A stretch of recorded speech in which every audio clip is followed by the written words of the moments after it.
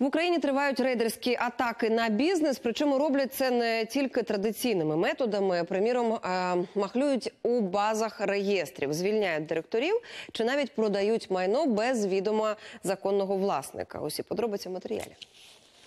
Володієте бізнесом, тоді готуйтесь ним поділитися, причому без вашого відома. В грудні місяці е, прийшов цей директор, він же засновник, оформлювати довіреність до нотаріуса.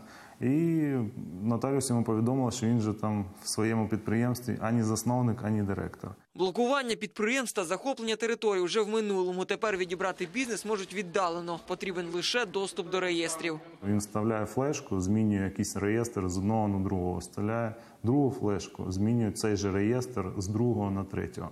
А для того, щоб законному власнику відкатити все назад, потрібно звертатися до суду.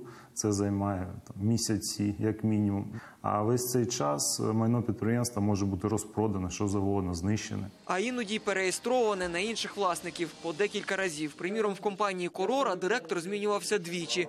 Відомості до реєстру вносило комунальне підприємство Реєстратор, яке існує лише на паперах. Виявилось, що комунального підприємства як такого реєстратор не існує.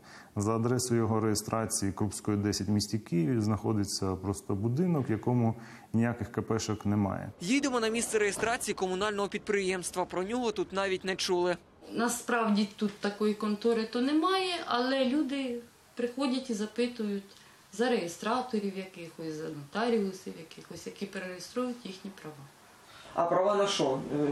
З Ну, люди зі слів людей на квартири, на корпоративні права запитували. часто заходять взагалі?